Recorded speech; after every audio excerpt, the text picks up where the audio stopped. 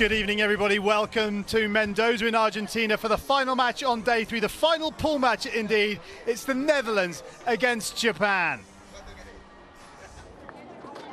On the reverse that's a lovely ball in. There is going to be a chance here. First time shot, and that's a good save by Sombroek. The first shot on target is from number 11, Akane Shibata, who was the player, the only player to score against the Dutch at the World Cup. And Maasakker, and it comes, and that was going in, and Asano aware.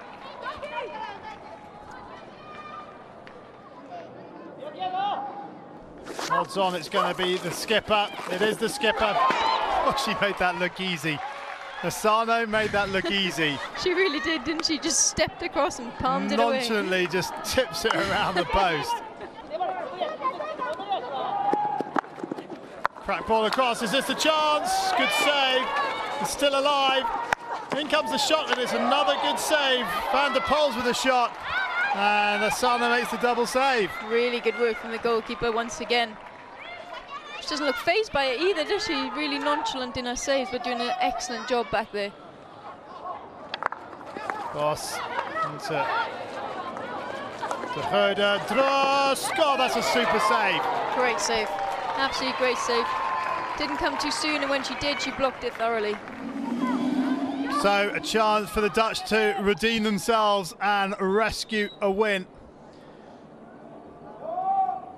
To Paumen at the top of the circle. Paumen scores and breaks Japanese hearts. And I have to say, I feel for Japan as well.